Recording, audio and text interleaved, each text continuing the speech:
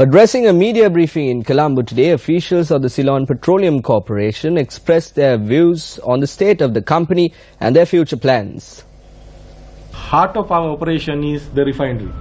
The refinery is 50 years old, almost. And the existing refinery can cater only for the 30% of country's demand.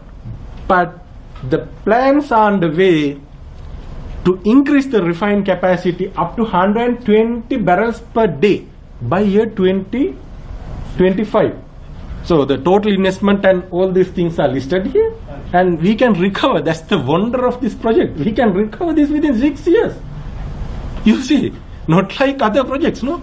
Certain projects, I don't know mention the names, but you see, it will take 110 years, 70 years, 30 years. But this project, you can get this recovery in six years. Though these are the areas where we have to invest.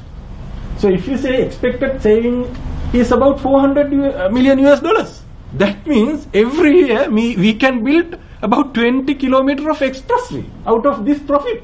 Views were also expressed regarding the losses suffered by the Ceylon Petroleum Corporation.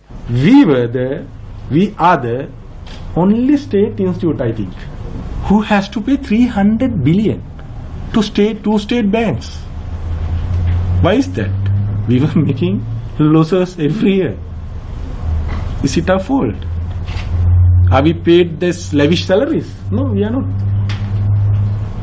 If you take the overhead component of all our operations for about 60 cents out of a one liter of petrol, it's very negligible.